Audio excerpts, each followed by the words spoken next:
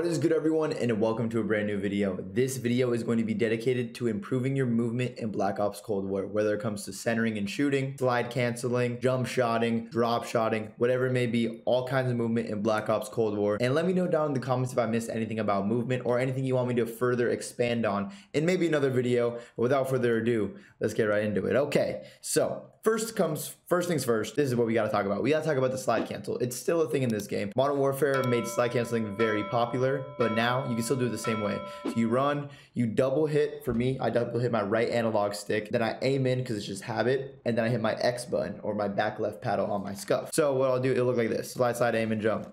Slide side aim and jump. Slide side aim and x. Slide side aim and x. And it is really good to do around corners or if you're sliding behind like a head glitch or something because it'll catch the other person off guard. Like instead of just walking the head glitch like this and just pre like that if you just run up to it slide you can hit them with a nice mean camera and they can completely mess them up. So that's most importantly what we have to get down. If you don't have the slide cancel down make sure to practice it. Right, it's very important to slide down steps or slide down anything that's a downward slope. Because if you just run like this it's pretty slow and you can get shot in your back the whole time while you're running down. But if you run down this and you slide down, you get a speed boost, so you get some momentum, and the people from behind you can't see you. Let's say I know there's a guy like over here. I'll slide down, look to my right, I'll be ready. I won't just be running down like a bot. you never want to have bot-like movement. You always want to be ready and cracked, as the cool kids say. So make sure you're sliding down whether it be a street, stairs, anything to gain momentum. It's so important to make your character move faster and break other people's cameras. Now we're going to be talking about strafing. It's been in every COD. You've strafed whether you've known it or not. It's when you're aimed in like this and you're moving around back and forth. You always want to try and like just move different directions, throw the enemy shot off so their bullets don't hit you. But you also want to be able to control your recoil and your aim when you're strafing so that you can hit your bullets and you get the kill while they're missing their bullets. So the good thing about customization of the guns and like the uh, gunsmith is actually that you can build a class setup to have certain things, whether it can be run faster when you're sprinting, when you're having a aim down sight movement. Like I had the SOCOM eliminator on and that hurts your shooting move speed. So that means when I'm shooting, my strafe is going to be slower because of that. Um, on the field agent grip I have on also hurts my shooting move speed. But if I took that off, and I put something else on that doesn't affect my shooting move speed, I'd be able to strafe faster when I am shooting. So aim walking movement speed is what the S the SOFD speed grip hurts. You can see it down in the pros and or in the cons, and pretty much that means when you're just aimed in, it's gonna slow you down. So depending on the type of player you are, if you like to strafe a lot and you're good at controlling it, you can put the things on that benefits you to have a faster strafe. But let's say you don't like strafing, you don't have to use those things. You could be very plain and basic with the strafes. Like it doesn't have to be some crazy wide walking stance. It could literally just be little jitter, stutter movements back and forth. So hopefully this will help you improve and work on your strafe game. My personal favorite movements in all Call of Duty history is the ledge slide. So let's say there's someone under here and I know I'm in a gunfight with them. We've been shooting at each other. I could run off and just drop down like this, but it gives me, you see how it like bounces my screen a little bit and just drop down like this that could mess up my shot. Or I could run off and jump like this. You see how my like character and gun kind of bounces? That can mess up my shot as well. It can still work, don't get me wrong, and I'm still gonna do that at some points when it's the right time. But ledge sliding is the most effective, the smoothest way, and there's very little to no bounce when you land. So watch this.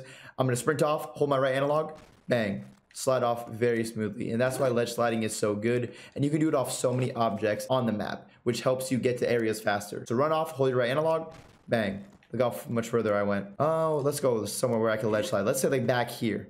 Okay, I see this little wall right here. I run, I run, I jump. I failed. I run, I run, I run, I jump. What to beat the clock? Ledge slide like that. There's so many things you can ledge slide off. It's very important to take advantage of it. It will help you get the spots on the map faster and help you get more kills. Now, remember how I said that jumping off stuff can kind of mess up your aim? It's not bad all the time though. Sometimes it's really good. Let's say a player is right here and he knows you're up these steps, so he's just priming this and waiting for you to slide down. Let's say I slide down like this. I might win the gunfight but it's like a 50-50. But if I jump off this and go wide, that will for sure catch him off guard like this. Jump around the corner, bang. Because there's no way he's just going to be pre-aiming the middle of the air like this. And if he is, he's probably hacking or he's just the best player in the world because everyone's going to pre-aim low for the slide. So this is a situation where jumping off will catch him off guard. It's very good. Even though it might mess up your aim assist and your aim a little bit for a couple of shots, it can help you get the kill because you're catching him just so off guard. You're getting that first bullet on him. And if you, if you hit that first bullet on him, it's likely the rest of your bullets are going to follow that bullet and you're going to get the kill very quickly. My YouTube editor, I'm thankful for you, but I need you to fast forward the clips of me running while I show everyone what ledge slides you can do on the map. Just real quickly. Starting now, I'm going to run around the map in a circle and show you guys everything you can ledge slide on Moscow. Ledge slide off that. Over here, here, window. Ledge slide through that. Run up here, run up here, get on the statue. Ledge slide off that. So might have to just go like this. Ledge slide off that. Then we hit a little 360. This is the nice one. I love this ledge slide right here. Mm, bang, ledge slide off that. Go off this, sprint, ledge slide. Another one, another one on the chest table in the park. Let's go. Come on. There we go. One more, one more, one more. No, I burgered the last ledge. Like one more time, one more time, one more time. One more time, one more time, one more time, one more time. Okay, okay. It's, just, it's not meant to be. It's not meant to be.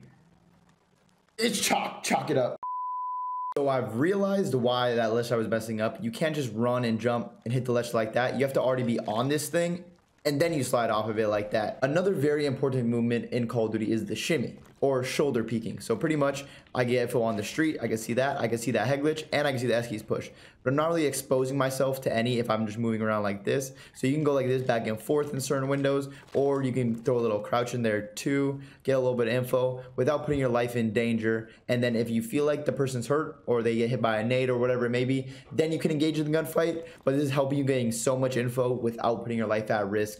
It's very helpful. It's especially good to do in like windows. Like let's say I want to get info that the person is in that window. I think he's pre-aiming in there. I get hit a little slide across. I saw him. Go back there. I can slide behind this little middle pillar. Oh, we good? Slide back out. We're done. We're out of there. Bang. Experimenting with a lot and finding a lot of success is doing the crouch stand up shot when you are just running around the map. I feel like it throws people's auto aim off really badly in this game. It's been alright in some other CODs. It can kind of get you headshotted sometime. But in this COD, I feel like if I'm just staying crouched like this, I get headshotted a lot. Or just on like a head glitch like this, I get headshotted a lot. So I think it's been really good to just a little jump crouch or a, crouch stand up walk just kind of shimmy strafe doing it as well. And uh, I've been finding a lot of success getting kills with it and not getting killed or some honestly dodging bullets so I really think you guys should try this and incorporate it into your gameplay whether you're an AR player sub player shotgun player whatever it may be I feel like this is a really helpful tactic that you can add to help get you a couple more kills and maybe even dodge a few bullets in Call of Duty. Enough how important it is to have the airborne elastic wrap as the handle for most of your guns. Sometimes on subs, you want to use a different one. Like I like using the speed tape sometimes on subs, but for ARs, I always have the airborne elastic wrap on. Strictly for the aim while going prone, it is just so good to just hit them with drop shots like around this corner, drop shot like this, I'm just chilling. I'm laying down. I just stand up normally. I could drop shot. I could just walk up and don't worry about anything. Now, let's switch my class. Does this...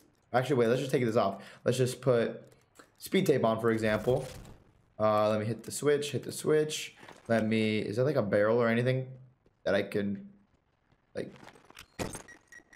Ah, there we go. That works. Um, now, let's try and drop shot without the airborne elastic wrap and just see how bad it is.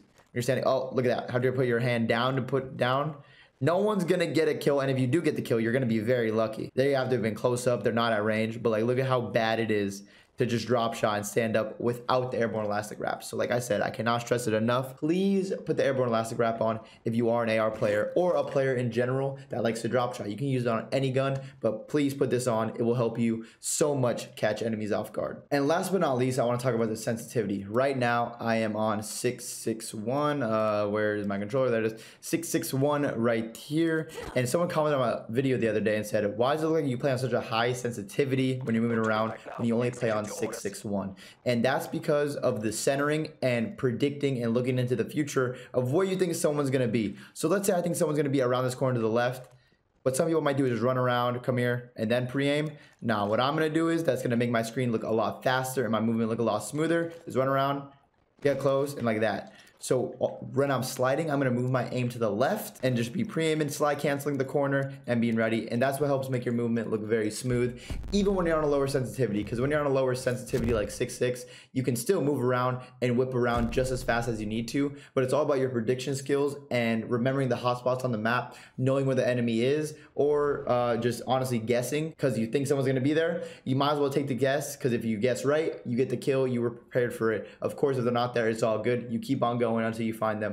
But guys, hopefully this video was helpful. Hopefully it can help fix your movement or improve your movement uh, if you've already had really good movement. But thank you guys all for watching. If you made it to the end of the video, I appreciate all the support in the videos recently. I'm gonna keep trying to drop these helpful video for you guys. So make sure to like uh, this video. I would really appreciate that. And let me know any other tip videos you would like me to make, any other tips you would like me to talk about in Call of Duty, and I can help you with that. Thank you guys all for watching. I will see you in the next one. As always, my name is Attach, and I'm out. Peace.